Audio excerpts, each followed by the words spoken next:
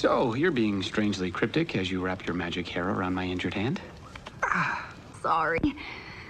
Don't freak out.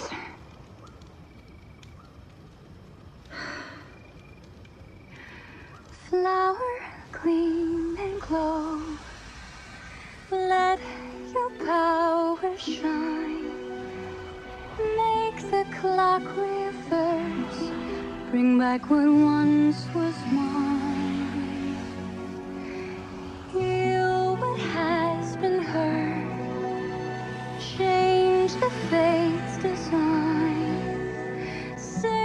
What has been lost.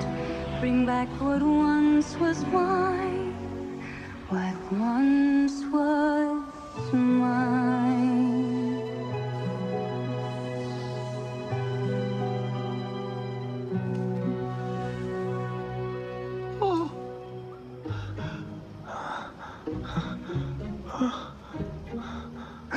Please don't freak out.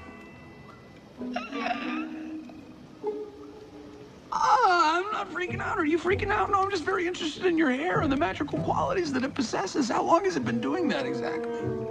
Uh, forever, I guess. Mother says when I was a baby, people tried to cut it. They wanted to take it for themselves. But once it's cut, it turns brown and loses its power. A gift like that, it has to be protected. That's why Mother never let me.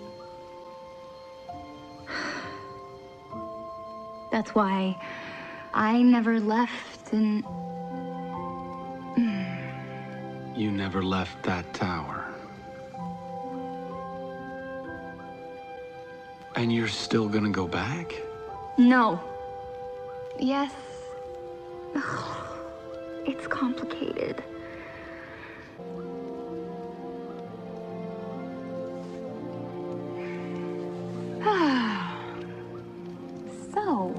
Eugene Fitzherbert, huh? Uh, yeah, well.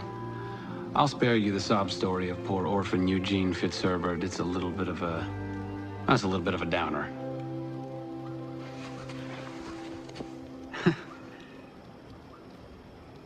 there was this book.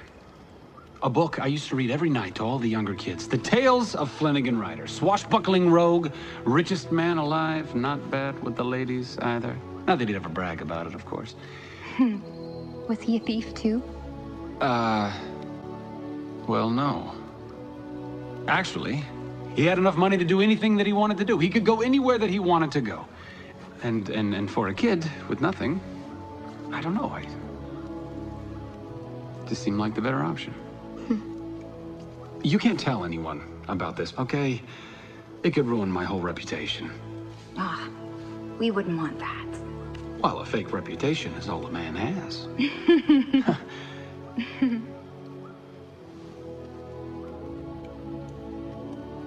um, well, I should, um, I, I should, I should get some more firewood.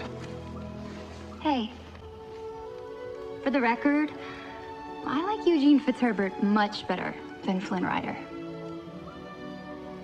Well, then you'd be the first. But thank you.